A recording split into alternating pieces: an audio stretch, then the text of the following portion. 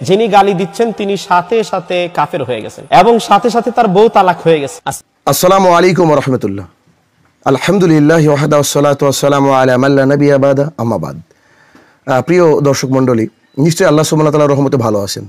আজকে ছোট্ট একটা বিষয় নিয়ে আলোচনা করব। আসলে আজকের আলোচনার আলোচক আমি নই, বরং আমি এডিটর বলতে পারেন। তো বিষয়টা কি? বিষয়টা হচ্ছে যে অশ্লীল কথাবার্তা বলা, এটা ইসলামে জায়েজ নয়। কেউ যদি অশ্লীল কথাবার্তা বলে কেউ যদি গালমন্দ দেয় মানুষকে বিনা কারণে, তাহলে তাদের জন্য জান্নাতে যাওয়া খুব কঠিন এবং কষ্টকর হয়ে যাবে বলে আমরা বিভিন্ন হাদিস থেকে জানতে পাই এবং কোরআনের বিভিন্ন পাতা থেকে বুঝতে পারি। একজন মৌমিন কখনো অশ্লীল বা নোংরা হতে পারে না।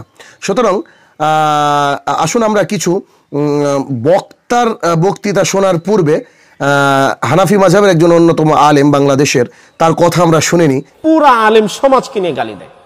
তাহলে তো বলতে হচ্ছে তিনি নির্দিষ্ট ব্যক্তিকে গালি দিচ্ছেন না, তিনি আলেম সমাজকে গালি দিচ্ছেন এবং তাকেও গালি দিচ্ছেন সে আলেম হওয়ার কারণে। এই ক্ষেত্রে ফেকের কিতাবে ফতুয়া হচ্ছে, যিনি গালি দিচ্ছেন তিনি সাথে সাথে কাফের হয়ে গেছেন। সাথে সাথে তার ইমান নষ্ট হয়ে গেছে এবং সাথে সাথে তার বউ তালাক হয়ে গেছে। এ অবস্থায় যদি তিনি তিনি তোবা ছাড়া মারা যান বেমান হয়ে মারা গেছেন। তার জানাজার নামাজ পড়া যাবে না। এখন আমরা শুনব বাংলাদেশের বেশ কিছু বিশিষ্ট বক্তাদের গালিগালাজ এবং সাথে ভারতেরও কয়েকজনের থাকতে পারে। তো আমরা তাদের গালিগালাজ শুনে নিই। মূর্খ জানুয়ার না হলে এরকম কথা বলে না। দুটো বাংলা বই পড়ে নিজেকে মনে করছে আমি বিরাট রিসার্চ করতে পেরেছি। ও কুত্তার গায়ে লেগে গেছে। বাসা দিয়ে দশটা বাড়ি মারো গোয়ার মধ্যে। কুত্তার বাচ্চা কুলাঙ্গারের বাচ্চা।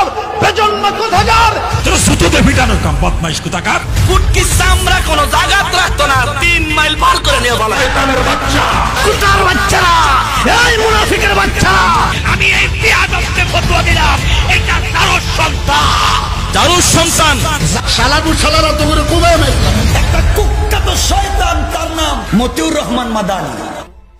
তুমি হাফিজুর তুমি কুত্তার যা তুমি তুমি নাস্তিক তোমার মুখে আমি জুতা মারি। তুই একটা চূড়ান্ত লুচ্চা। আমির হামজা মূর্খ মুফতি নামদার এক নাম্বার মিথ্যাবাদী। শয়তান আপনার কাছে গেলে বলবে তুই আমার সাথে বড় শয়তান। সবচেয়ে বড় ফেতনাবাদ তার চাল হচ্ছে হাফিজুর রহমান। ওই মুনাফিক ওই হুদিন দালাল।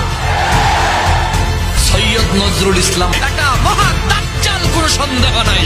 আমার বিরুদ্ধে যারা বলে তারা রাসাকার এবং তারা জারদ সন্তান মির্জাফর কাব্বার পত্তার নাস্তিক কুলাঙ্গার কুলাঙ্গার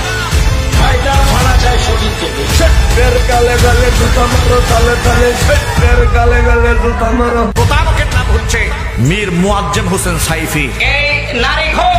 ওয়াবি মানে সোর ওয়াবি মানে জানাগর ওয়াবি মানে টকবাস ওয়াবি মানে ইনাউজর ওয়াবি মানে জানাগর ওয়াবি মানে খারাপ ওয়াবি মানে জেলগর আরে